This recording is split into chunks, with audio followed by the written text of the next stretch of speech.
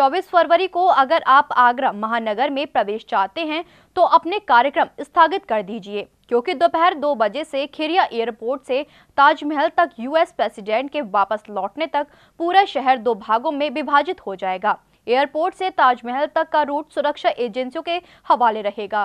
24 फरवरी को आगरा महानगर में आप जाना चाहते हैं तो अपने सारे कार्यक्रम रद्द कर दीजिए, क्योंकि यूएस प्रेसिडेंट की ताज विज़िट के चलते एयरपोर्ट से ताजमहल तक का रूट पुलिस के हवाले होगा। दोपहर दो बजे के बाद इस रूट पर वाहनों की आवाजाही रोक दी जाएगी। ट्रंप की आगरा यात्रा के दौरान महानगर दो भागों में विभाजित रहेगा।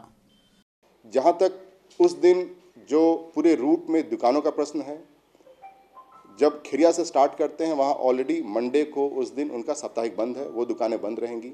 बट जो फतेहाबाद पे मैनी दुकानें हैं, उसको हम लोगों ने बिल्कुल रिस्ट्रिक्शन नहीं किया है एंड वो दुकानें खुली रहेंगी। जहाँ तक पूरे रूट का बात है, अलग से हम लोगों ने हॉर्टिकल्चर की टीम हमारे पास सोलह हज़ार पाँच सौ गमले लगा करके, कुछ फ्लावर्स लगा के, वो अब अब काम वो स्टार्ट करेंगे बिकॉज़ स्मार्ट सिटी काम चल रहा था, वो काम करेंगे। जो चौराहे हमारे पास स्मार्ट सिटी में, लगभग चौदह चौराहे हैं, वहाँ से उसका लाइव टेलीकास्ट भी किए, करेंगे और कमांड एंड कंट्रोल सेंटर से हमारे स्मार्ट सिटी के उससे देखा जा सकता है। प्रशासन ने जो रूट प्लान तैयार किया है उसके अनुसार महानगर में न प्रवेश कर बाहर से ही रूट डाइवर्जन किया गया है। मरीजों को परेशानी न हो इसके लिए फतेहाबाद रोड माल रोड और कैंट क्षेत्र में एंबुलेंस के साथ ही अन्य व्यवस्थाएँ भी की जाएँगी।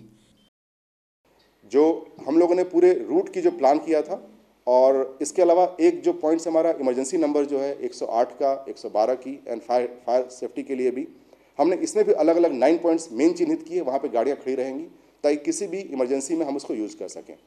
जिला प्रशासन ने लोगों को परेशानी न हो इसके लिए व्यापक इंतज़ाम किए हैं लेकिन प्रेसिडेंट ट्रंप की सुरक्षा से कोई भी समझौता प्रशासन नहीं करेगा।